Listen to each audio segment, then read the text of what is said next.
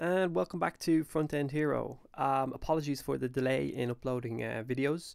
Um, 2018 was a little bit manic for me, so um, hopefully uh, this year I'll be uploading a lot more videos and we can all learn together. So in this little tutorial we're going to be creating this effect here. Uh, it's basically just uh, some text with some a few little CSS properties applied. Um, it's a non-standard uh, CSS property, but um, for the most mod most modern browsers will display it just fine.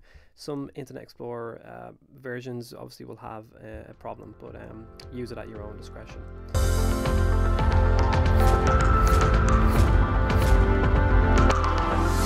So to see how we've done it, we're going to pop into our markup and all we see is just a standard uh, paragraph uh, tag.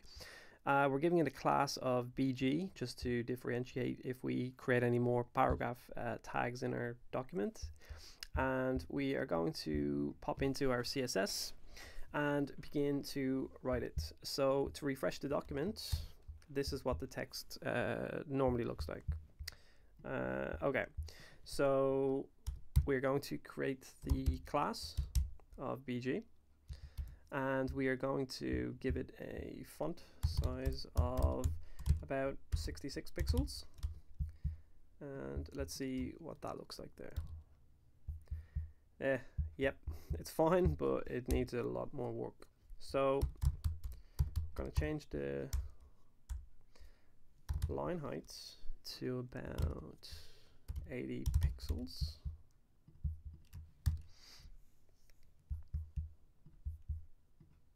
and give it a, a bit more bolder weight. Of about 800 yeah okay. Um, okay and then we're going to make everything uppercase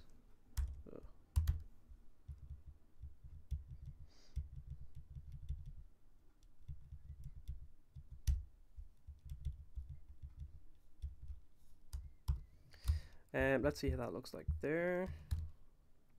Yeah, fine.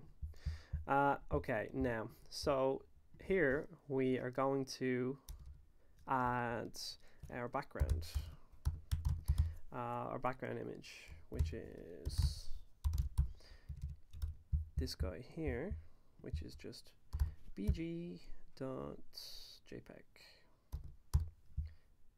Okay, let's see how that looks like right now. Yeah, not too great.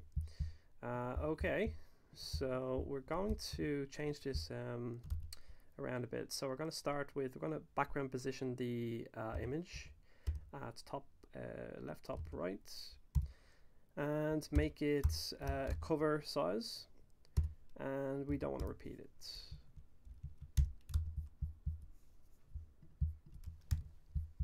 Okay, that looks a little bit better. So we're going to give the text a color of I'm going to copy and paste my little pink uh, front end color here.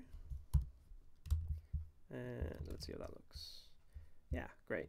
So now we want to uh, mask the image into the text. So we're going to use a property called WebKit background clip and give it a value of text. Let's see what that looks like there. Yeah. So what we need to do is add um, a secondary uh, property and it's called WebKit text fill color and give it a value of transparent. Now let's have a peek. Yeah, looks nice. So that's essentially it. These two properties um, generally should go together. And with this um, little uh, technique here, I mean, there's so many options you could use here. You could even use SVG, you could use animated um, SVG backgrounds, things like that. But um, it's a cool little trick uh, to try for your um, for your own uh, projects, and that's that's basically about it. So hopefully um, I'll be coming out with a few more videos um, in the upcoming months Uh, please subscribe, and um, if you found this valuable, give it a thumbs up. Um, thanks very much, and see you in the next video.